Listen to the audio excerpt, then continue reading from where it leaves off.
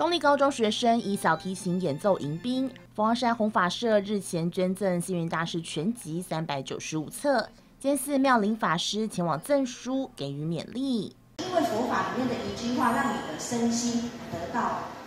安住、快乐，好得到宁静，这个才是佛法的最终极的哈，所所要佛陀要表达的。盼学生能够透过阅读获取大师智慧法语。校长李世峰亲自颁赠感谢状，感谢佛光人为校园图书典藏再添资源，将人间佛教深入校园，散播菩提种子，也让师生从中获得安顿身心的智慧。那这位是台北桃园综合报道。